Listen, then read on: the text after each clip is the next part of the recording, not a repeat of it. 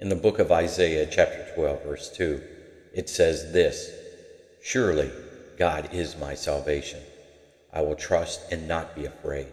The Lord, the Lord Himself is my strength and my defense. He has become my salvation.